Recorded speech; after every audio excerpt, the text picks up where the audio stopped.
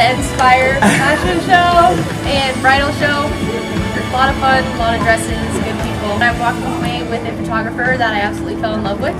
Um, her packages are great and she has exactly what I want.